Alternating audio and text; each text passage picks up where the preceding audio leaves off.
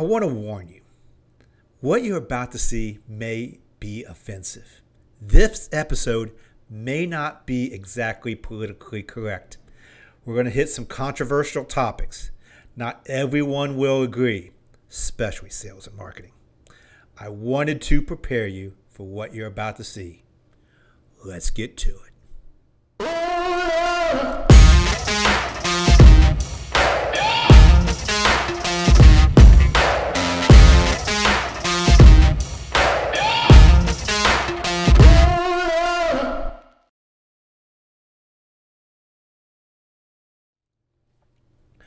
Welcome, welcome, welcome. I'm your politically incorrect, passionate, and fair host, Eric Wilson. You can find me at eric at ibf.org. That's eric at ibf.org. And we have a fair and great sponsor in Arkieva, your one plan S&OP software solution. So check them out. As I said, this is going to be a little controversial and I'm just gonna I'm just gonna rip the band-aid off. I'm gonna come out and say it at the very beginning here. Okay, you ready? All items are not created equal. We should not create, we should not treat all items equally. All customers are not created equal. So, therefore, there are items that are better than other items. I said it. I, I, it just had to be said, and I'm the one who had to say it. So if if this is true, and we all know it, we all know, except for some people in sales, that all items are not created equal, then why do we assume our accuracy should be the same for all items? Why do we assume our accuracy should be the same for all customers? Why do we assume our accuracy should be, between planners should be the same? Why do we treat them the same?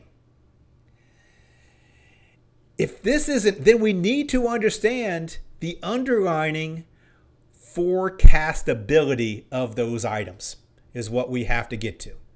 And, and, believe me, forecastability should be a word.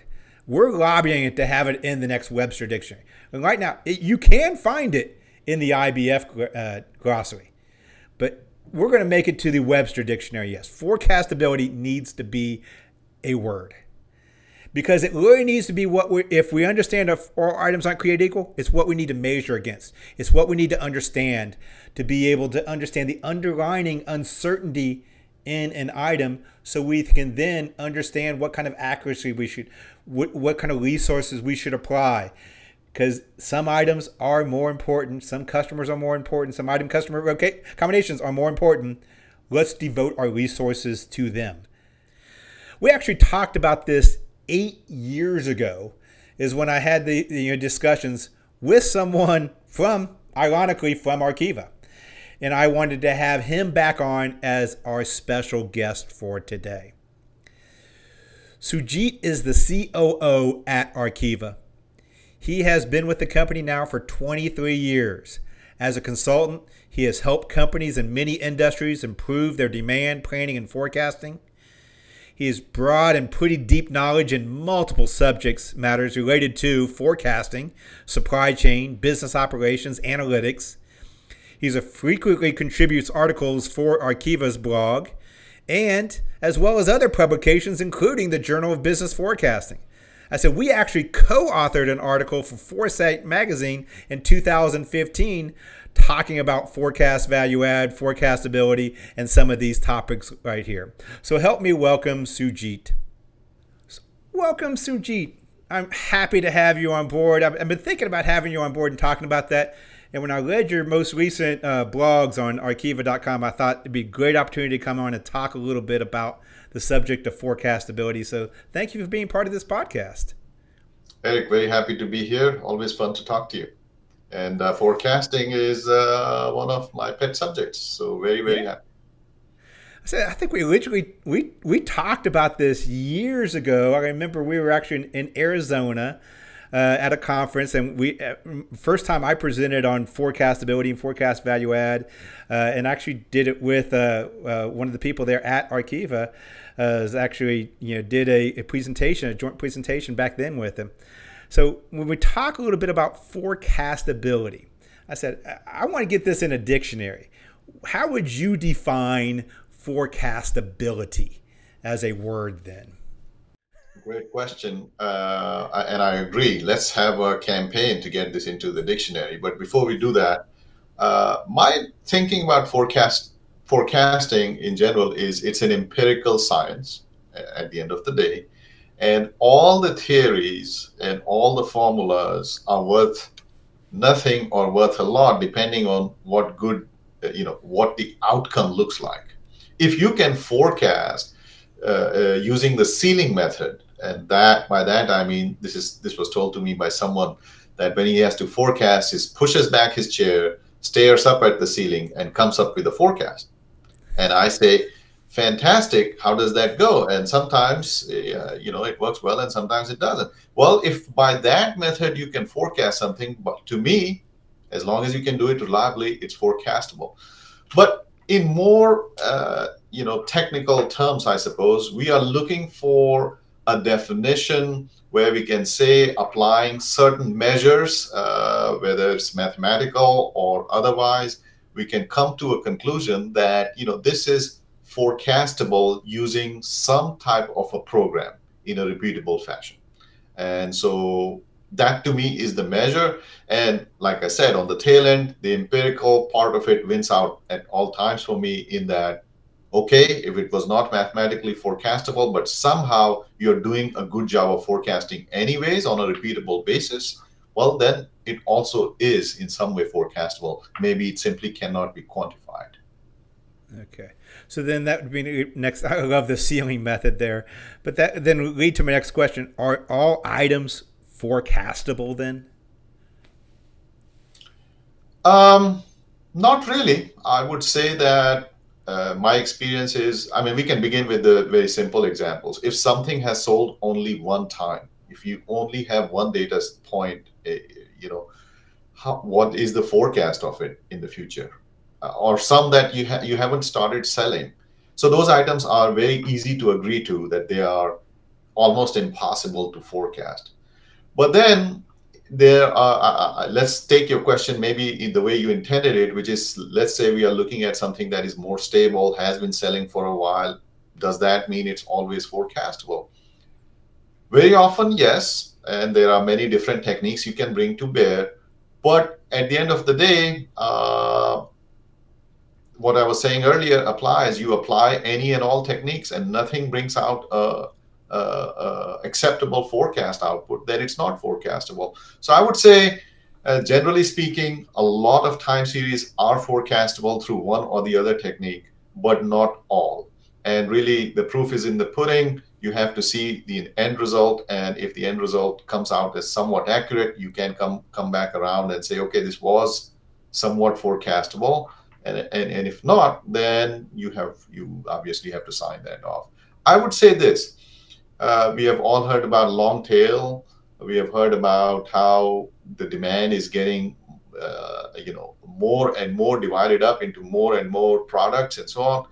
The portion of the demand that is fundamentally unforecastable has increased. And by the way, uh, also worth adding, when I'm talking about forecastability, I'm talking about the classic definition of uh, measuring the error, which is on a forecast point forecast. There are other ways in ma- making something forecastable by saying, well, we'll forecast a range. And as long as we are, we are inside a range, we are good. Well, in that sense, you expand the definition of forecastability, and some more items can then become forecastable.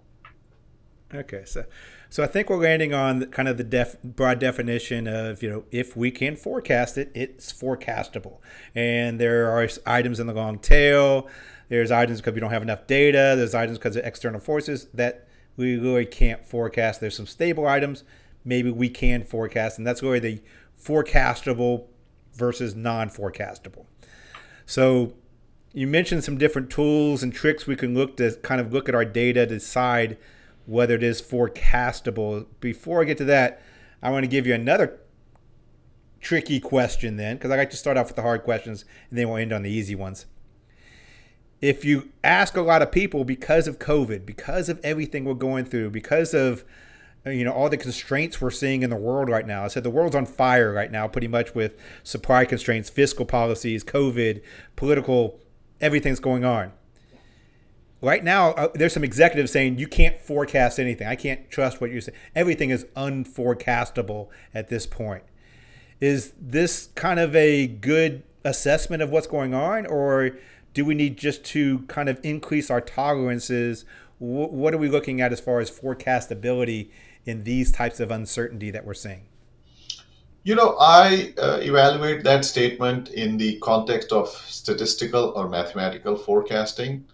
That there is so much variation from what was happening a year and a half ago that you know using that history as some sort of a predictor is out of the window and indeed you are seeing a lot of that but like anything else, uh, you know, people have said this before necessity is the mother of invention. So when these types of situations happen, people adapt these techniques to account for these changes.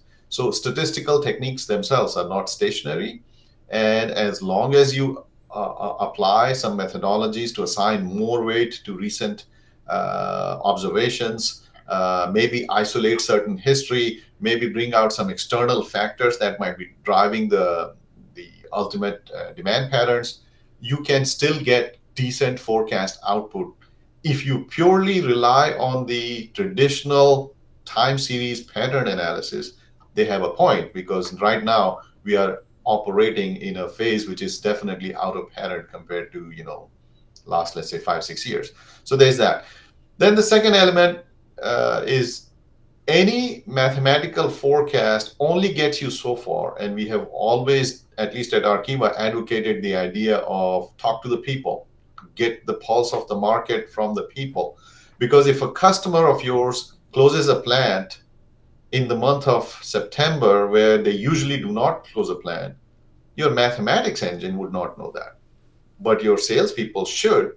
And if we can get input from them, we can improve the forecast. So applying those types of techniques can still keep the time series forecastable. So it's if you if you isolate only to statistical and especially time series pattern analysis, they have a point. But if their intent is to just give up on the science of forecasting because as I said, there are a lot of different elements, I would have a disagreement with them. I would agree. So sorry going down that, but I knew it was a question that was I was going to get with it was, you know, we're talking about forecastability. I'm hearing that words about forecastability. Getting into more of the traditional analysis of forecastability and back to uh, the blogs that you had, you have under normal type circumstances, your, your, you know, SKUs that you currently are managing. What kind of analysis can we do on our current portfolio of products to really determine the forecastability of some of those items. Uh, and then that would lead to like benchmarking and things of that sort. But start off, you know, what kind of uh, methodologies are you looking at to be able to to determine if your items are forecastable? Is it just what's my air? Is there some kind of other things I can do before then? What am I looking at?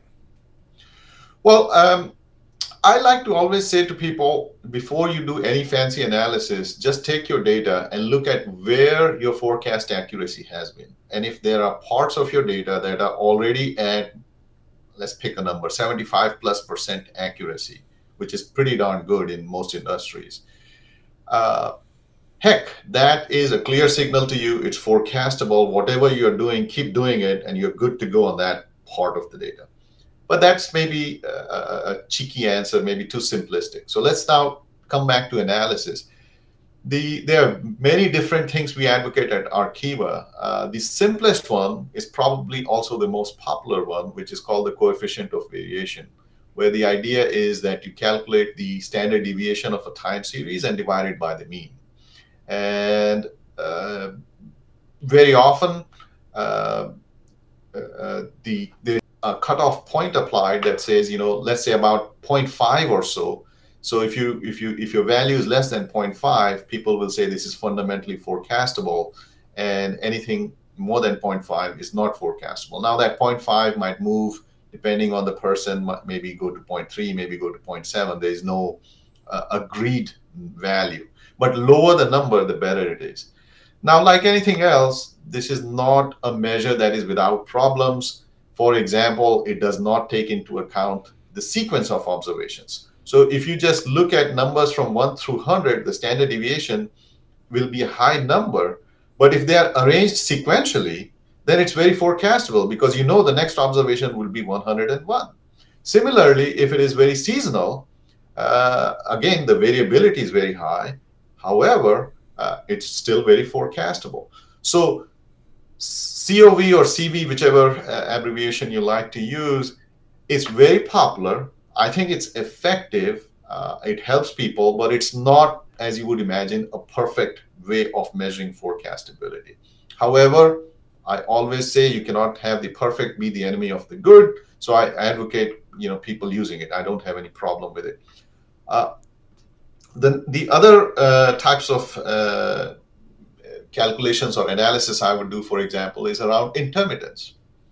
So if you look at the number of gaps between observations, so just to give you an example, if you are looking at data in monthly buckets, and so you have a sale in month one, then nothing in six, month two, nothing in month three, and then you again have a sale in month four. Now you got two periods with zero observations, right? So if you look at these gaps, the question is if these gaps are very repeatable, like every one sale you have two non-zero sale periods, well, that is nice. But very often what you will see is that this gap itself is varying as well as the peaks of the individual sales are varying. So you want to measure something called an intermittence, uh, where you want to calculate the average delta between the non-zero sales. And there is a formula associated with it, and there's a cutoff. So if you are more than 1.2, typically we would consider a highly intermittent series.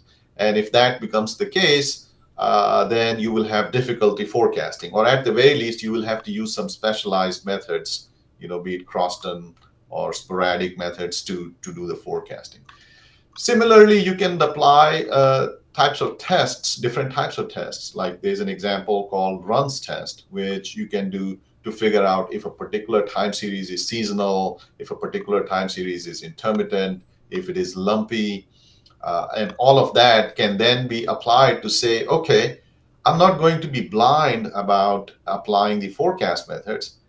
Using this upfront analysis, I will then apply the appropriate methods to the appropriate time series. And so if the if the seasonal if seasonality is being de depicted in your analysis by the time series, then you apply that method, uh, for example. So those are some tests we do on the time series analysis. And let me take a pause there, but of course, there are more tests to be done on the causal analysis, which we can talk about. Okay. So before, real quick, before we get to the causal, then, uh, when you're looking at, uh, let's go back to your COV. You're looking at, you know, coefficient of variation. You mentioned that highly seasonal data might give you a very high COV. You may see 0.8, 0.9 COV on your data uh, because it's highly seasonal. Should we de-seasonalize our data then before we run a COV analysis? Is that a possible step someone can do then? That is very reasonable. Also, on the other hand, you can simply run an F test of seasonality to figure out up front. This is a seasonal method, and then sorry, seasonal time series, and then you can just directly go to uh, applying seasonal methods. But yes, you have to be cognizant if you're going to insist on using COV, you have to be cognizant of deseasonalizing as an example. But you know, the problems on that and do not end there. I mean, that was just an example. What if, for example, you have a time series, you calculate the COV, and then all you do is in every time period add a million units. So you've just raised the time series higher, right? In that example, the mean has gone up by a tremendous number. So COV will come down because mean is in the denominator. But is that time series any more unforecastable or any more forecastable than it was a minute ago before you added the million to every time period? The answer is no. So there are uh, uh, there are let's just say like anything else there are issues with it you know that can take a whole discussion in itself okay so uh, it brings it to another example uh, bringing back covid i mean so if I did the analysis in 2019, I'm going to have a very different result than if I did the analysis now. I'm going to see a lot more uncertainty in my data set running a COV type of analysis because of the nature of what we just went through. Does that mean things are less forecastable now? And does that mean that I should expect more error in my in what I'm get, doing? Well, I mean, if we stop at the time series uh, pattern analysis based forecasting, then the answer would be yes, and you would see a lot more error. Uh, but this might be an, an, appropriate time to talk about bringing in external factors. So why Perfect. is why is the demand different in uh, COVID times? You know, uh, I was reading an article uh, only yesterday where they were talking about they are selling more loungewear uh, because well we are working from home and we don't have to you know uh, put on business casual or whatever your company requires to come into the office so there's extra demand of that. Uh, they might just need... for the record I'm, I'm business on top i'm pajamas on the bottom you just can't see. There you go. I wouldn't expect anything different that's great. So um, what is that what are those external elements that are causing the changes that you see? We have customers who were selling who are in the business of selling sanitizers. And you know their demand pattern shifted dramatically. So once you understand that you can apply these external factors you can bring in these external factors. You can do a couple of things. You can simply say look i want to put a lot more weight on my most recent observations number one. Number two, if you if you are aware of certain external factors like COVID is going through peak, therefore sanitizer sales should again see a spike, for example.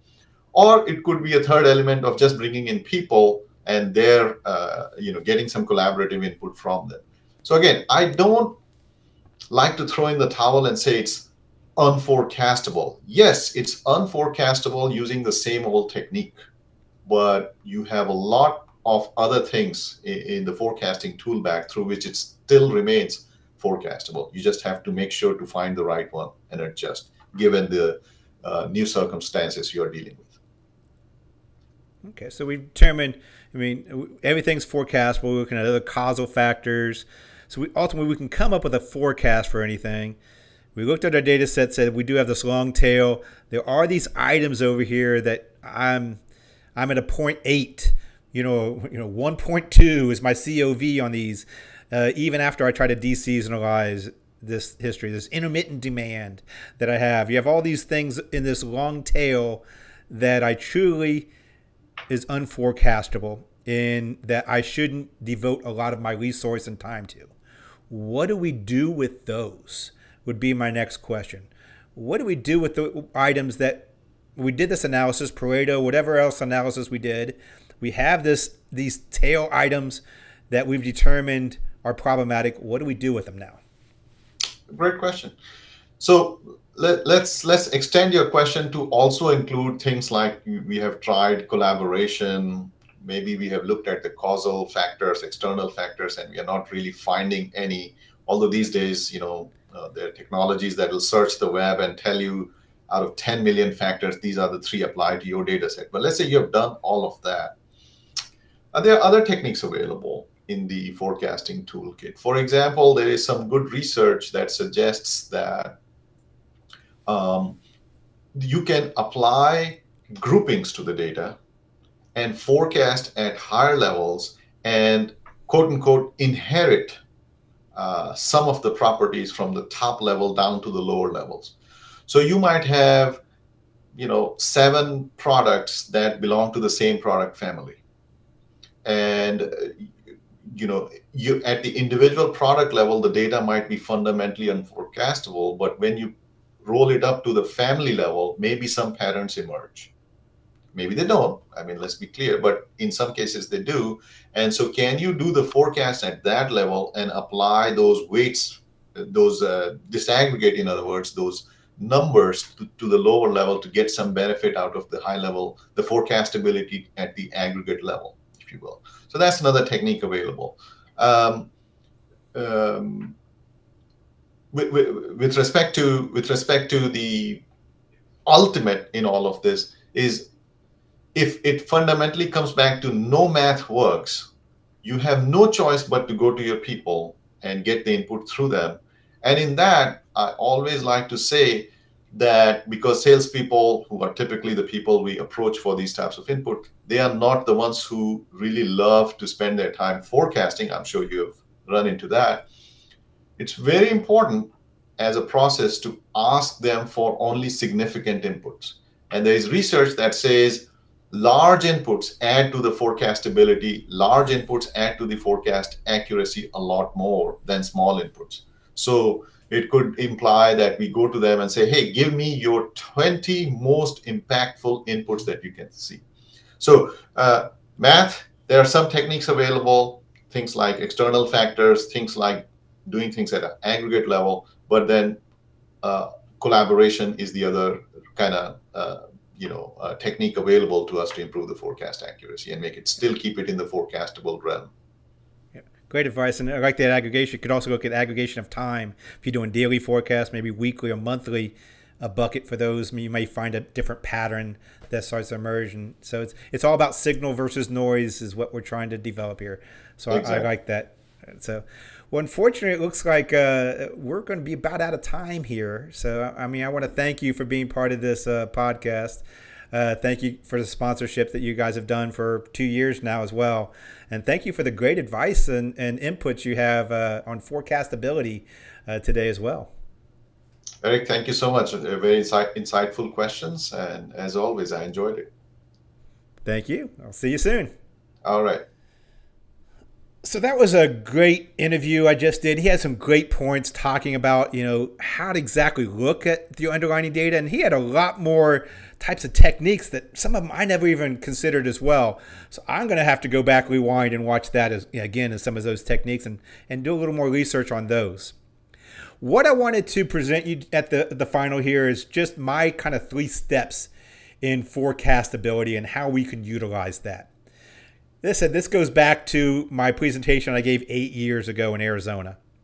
First, before I get into those three steps, I want to talk a little bit about the data first, the underlining data. We're going to have most of what we talked about was time series type of data. Time series has different components level, trend, seasonality, and then everything else that's left is going to be the noise. In that noise, like he said, you can find some maybe causal factors in it. You can maybe find some, you know, different individual, you know, uh, independent variables that causal factors, promotions, uh, COVID, customer sentiment, things of that sort that are causal factors that can explain some of that noise. And then you may have some judgment that understands and can explain some of that noise as well. Ultimately, what we're trying to do is in our data set determine how much of that is noise, how much we can explain, and then how well can we explain the other, the signal versus the noise. If we can understand that balance, that will give us forecastability. And I said, look, I look at this from a three step process. Step one, determine the uncertainty in your data analyze the history. A lot of what we're talking about is, is our time series data. You may have some causal inputs that explain some of the noise as well, but we're looking at analyzing that history. Analyzing that history utilizing something like a COV, coefficient of variation, or demand variation index. Uh, the only difference, really, one, you're going to square uh, the you know uh, the fitted or the, the variation from the mean. The other you don't square. It's the only really difference between the two. Check it out IBF.org. I have an article about that. Uh, but you can look at from a coefficient of variation or demand variation index. Ideally, I would recommend if you can and you have seasonal patterns, looking at it as a deseasonalized data, detrended data, taking out some of the predictive, taking out the known variables that you can have. Now, be careful. If you start taking out all those, you pretty much just have a forecasted data is what you have. So make sure it's truly seasonality, truly trends, truly predictable uh, predictive variables that you're taking out. Ideally, you want as close to the raw data set as possible because what you're truly determining is the uncertainty in the data. So I got no problem if you just take the raw data and run a COV analysis, DVI analysis, whatever, on that data set to really determine what the uncertainty in your data is. And I'll get to the reason why next, because the next step is you want to determine the how how good you are at forecasting it. I'm not exactly talking necessarily about a mean absolute percentage error or a root mean square error uh, or any type of forecast accuracy. Yes, that's going to give you your forecast error, but in theory, your forecast accuracy or your MAPE or your root mean square or whatever measurement you're using to calculate uncertainty on your output should be highly correlated to your data set uncertainty. So your COV should be pretty closely related to your MAPE, root mean square, whatever forecast accuracy. There's a correlation there. What the difference will be is what you need to measure. That's forecast value add. That is the difference. That's the value you're adding beyond the base outputs, based on a naive, based on other outputs. Any change in a process input that you're doing to a forecast, the difference between the end forecast that you do and just the pure statistical forecast, the difference is forecast value add. So measuring forecast value add is really what I'm talking about here in step two. Not your just your error, but your forecast value add. Are you adding value? Then step three, comparing those two. You can do a four box where you have COV versus forecast value add, or you want to Pareto both of them. Pareto your COV, uh, Pareto your forecast value add.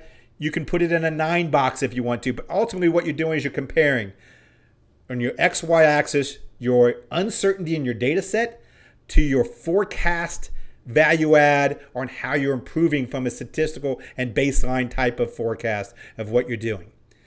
What this is going to show you then in that type of four box is things that are low forecast value add or maybe even negative forecast value add and things that have a high variability, high uncertainty, high COV above 0.7.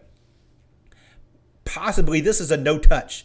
This is a pure naive forecast, or you utilize supply targets on this, or maybe you're using some of the aggregation techniques that, that Sujit mentioned as well. Things that then are high forecast value add, you're adding value to it. If they're low variability, okay, collaborative forecast could be high internal touch. Things that have high variability, then it's a must need touch. You, you're not going to get there through statistical methods alone. You're going to have to add market intelligence, have to add external variables to it. You're going to have to look at you know different types of inputs into your process that are that you currently are added, look at how you could add more of those to add more to the forecast value add. What this is going to give you is your is a true forecastability of items. Items that are not only on the scale from uncertainty of the data set, but it also takes into account what you can do, what you're adding value for, external variables, process steps, judgment, whatever it may be, to increase your forecast value add comparing these two on a chart. Well, I hope I don't get canceled or boycotted, especially by salespeople after this one. I know this was controversial. Hope you stuck with it. You learned something with it as well. My name is Eric at IBF.org. That's Eric at IBF.org. Once again, thank you, Arkieva. Thanks for being part of this as well. But thank you, Arkieva, your one plan S&OP software solution. So thank you, IBF as well.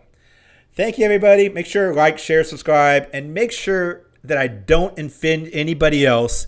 I please don't forget, wash your hands.